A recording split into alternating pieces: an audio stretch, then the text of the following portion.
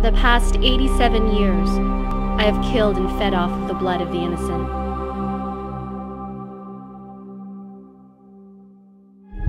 I am forced to hide in the darkness so that I myself do not become the hunted. You think that I am the monster, but your people have slaughtered mine. I am a vampire, the last of my kind, and I am hungry.